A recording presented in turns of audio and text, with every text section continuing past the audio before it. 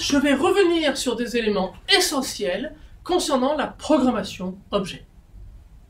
Cette séquence, est motivée par le fait que, euh, au bout de plusieurs années où ce cours est construit dans cet état-là, nous avons observé que euh, vous savez écrire du code linéaire, vous connaissez la syntaxe Java, mais vous ne savez pas répartir proprement ce code linéaire au sein des classes. Et je vais vous expliquer pourquoi. En particulier, un des problèmes qu'on a observé, c'est que vous ne savez pas mettre les méthodes au bon endroit. Alors, bon endroit, ça veut dire là où elles devraient être. Et en fait, ça se traduit par le fait que, au bout du compte, vous ne respectez pas le modèle objet. La conséquence, euh, alors, je vais la projeter sur la programmation séquentielle, c'est que vous avez un code qui est à peu près I2, enfin qui crève les yeux quand on le lit, euh, et c'est plus grave, qui est peu maintenable. On ne peut pas imaginer que vous gériez un vrai projet informatique avec du code écrit de la sorte, parce que à terme, ça sera ingérable. Et en programmation concurrente, euh, ça rend les choses à peu près inexécutables. Parce qu'en programmation concurrente, euh, contrairement à la programmation séquentielle où on a un fil d'exécution qui va passer d'objet en objet, au gré des appels de méthode, eh bien, en programmation concurrente, vous allez avoir des fils d'exécution distincts qui vont exécuter des, du code provenant d'objets, de classes, distincts. Donc, en gros, sur la programmation concurrente, ça devient inexécutable. Ça ne marche pas. Alors, l'objectif de cette séquence, c'est de proposer quelques règles types. Euh, d'ailleurs, euh, ce sont aussi des règles qui vous sont conseillées dans l'UE de programmation objet avancée, donc on est tout à fait raccord avec les collègues de ce côté-là. Et ces règles types vont vous aider à respecter le modèle objet, et donc pour la partie concurrente, eh bien, à partir d'un bon pied. Alors, je vais la faire à la manière de Maître Yoga. La première règle, c'est les accesseurs dans la même classe que les attributs qui y sont définis, tu mettras. Alors, il y a quand même de bonnes raisons pour ça. Euh, les accesseurs, vous savez, ce sont les méthodes, on appelle ça les setters et les getters. Les setters, c'est les méthodes qui vont changer la valeur des attributs. Les getters, c'est ceux qui vont permettre de récupérer la valeur courante de l'attribut. Donc, qui permettent d'accéder aux données de la classe. Et on est sur cette notion d'encapsulation. En fait, euh, on va le faire en deux temps, en fait, mais l'idée, c'est de ne pas accéder directement au contexte de la classe. Je vais vous donner un exemple. L'exemple, il est ici extrêmement caricatural, mais ça correspond bien à des situations qu'on a trouvées euh, en regardant votre code euh, en TP.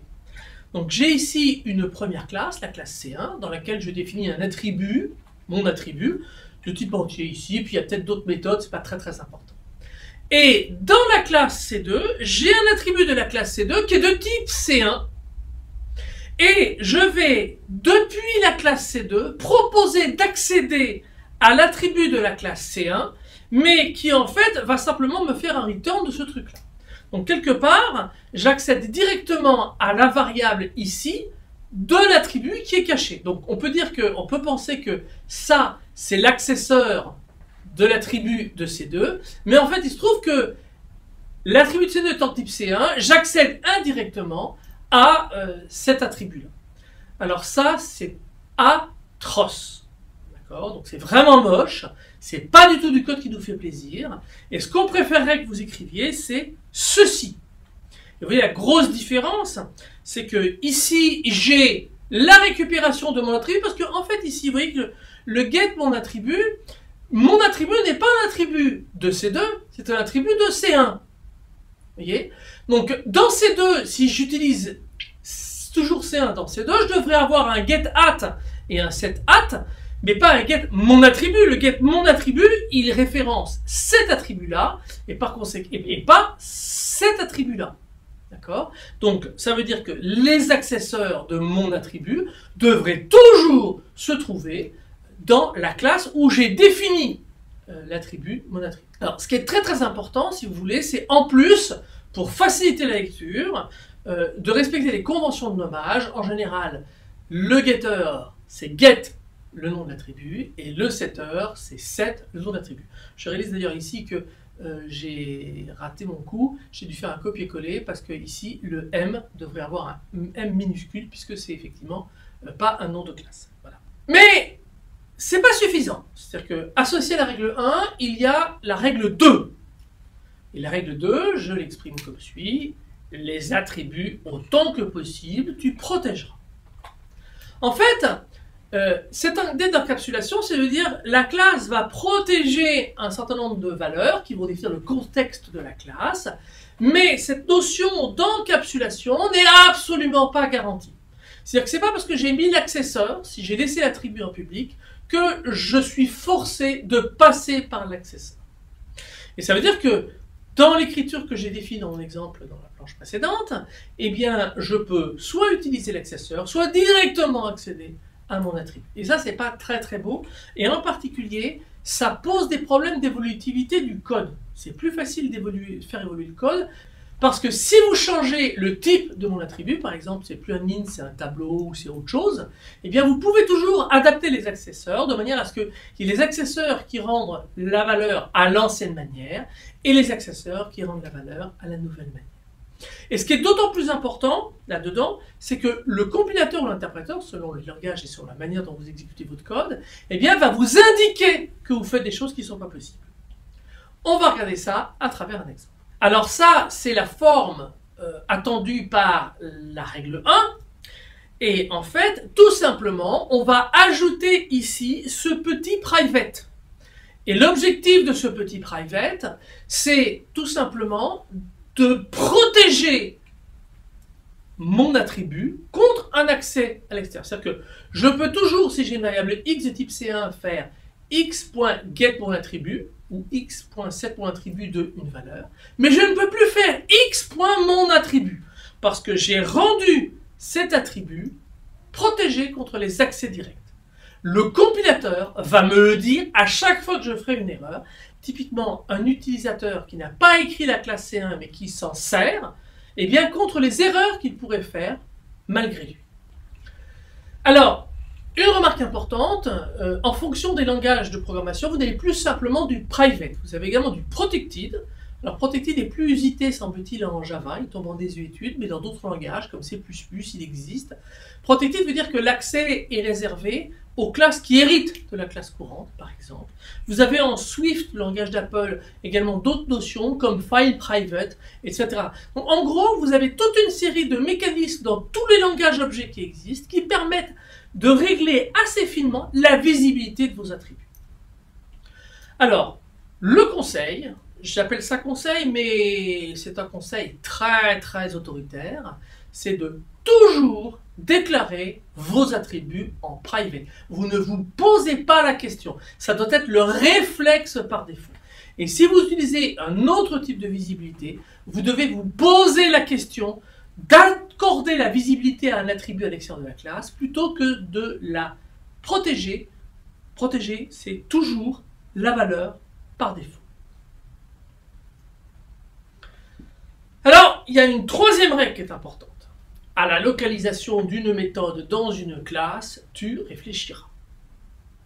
Alors, pour l'instant, on a vu les getters et les setters c'est assez facile, mais il y a d'autres méthodes dans une classe qui sont ni des getters ni des setters. Mais en général, ce qu'elles ont en commun, ces méthodes, c'est qu'elles vont modifier l'état d'une classe. Et donc, elles sont intrinsèquement liées à la classe dont elles modifient l'état. C'est-à-dire que vous ne pouvez pas imaginer que j'ai euh, une méthode dans une classe C1 qui va modifier l'état d'une classe C2. Alors, ça peut être possible, on va venir là-dessus après, si la classe C1 dans son contexte a des occurrences de la classe C2. Mais dans ce cas-là, ça se passe de manière indirecte. Je ne vais pas passer par la classe C2 pour modifier euh, l'état de la classe C1. C'est je vais passer par la classe C1 qui a une méthode qui me permet de modifier l'état en fonction de ce que je fais dans la méthode.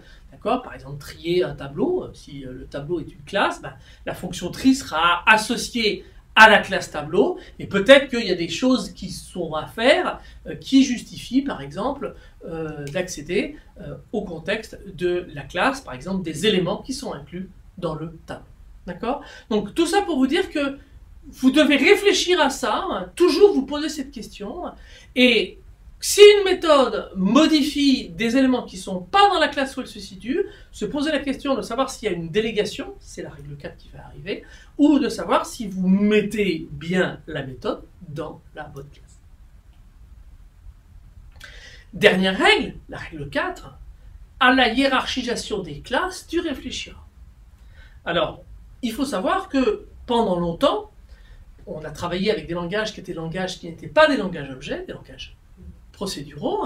Par exemple, l'exemple du C est classique. Et que les applications, on avait tendance à avoir des structurations en couches. Euh, en reste des choses célèbres, comme par exemple en réseau les couches de l'ISO. Euh, c'était une vision très structurée euh, qui a l'avantage de donner une architecture où les fonctions vont être associées à une couche dans un certain nombre de systèmes d'exploitation. À une époque, je ne sais pas si ça a évolué maintenant, mais on avait aussi cette vision où en plus dans les couches on pouvait attribuer euh, des niveaux de fonction des niveaux de droit. Euh, le problème de cette structuration en couches, c'est que quand on fait des maintenances, en général, une fonction euh, dans une couche, elle dialogue avec la couche au-dessus la couche au-dessous, point barre. Et puis très vite, ça peut devenir compliqué. et donc, au bout d'un moment, bah, c'est un petit peu comme les couches géologiques eh ben, euh, il y a des tremblements, euh, la couche 3 peut communiquer avec la couche 2, on fait des euh, courts-circuits entre les couches, ça devient très très vite difficile.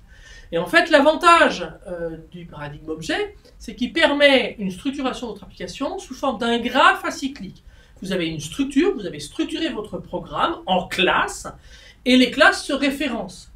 Par exemple, je reprends mon exemple de la classe tableau. Hein. Vous avez une classe tableau, puis si je fais par exemple une classe tableau de matrice, eh bien la classe tableau va gérer la partie tableau, mais le contenu, ça va être des matrices. on va dire qu'on va oublier l'aspect avec les templates ou les génériques, mais c'est un petit peu cette idée-là, si vous voulez. C'est que rien ne vous empêche que le contexte d'une classe soit composé d'éléments qui ne sont pas des éléments atomiques de type integer, euh, caractère, chaîne, etc., etc., mais soit eux-mêmes des éléments euh, complets. Alors, ça, c'est des choses qui devaient être dites. Pourquoi? Parce qu'on a, depuis plusieurs années, observé trop d'erreurs dans ce sens, et euh, bah, vous perdez énormément de temps, du coup, à écrire vos programmes. C'est dire pour ça que vous avez noté que bien que ce soit une séquence de révision, j'ai rendu cette séquence obligatoire. Je incite fortement à aller euh, la regarder. Je vous incite également fortement à mémoriser ces règles. Elles vont vous servir toute votre vie. Pour ceux qui font euh, programmation euh, objet avancé, euh, on vous retire des points quand vous ne les respectez pas, ces règles-là. D'accord? Donc on pourrait avoir envie de le faire, mais on se focalise sur la concurrence, c'est différent. Si vous ne les respectez pas en séquentiel, comme je vous l'ai dit, en général vous avez des bugs assez rapidement. Peut-être pas au début, mais en tout cas dès que vous rentrez en maintenance, c'est une catastrophe. Et si vous ne les respectez pas lorsque vous faites la programmation concurrente, eh bien c'est très simple, ça ne fonctionnera pas du tout. Voilà. À bon entendeur, salut. Merci beaucoup pour votre attention. À bientôt.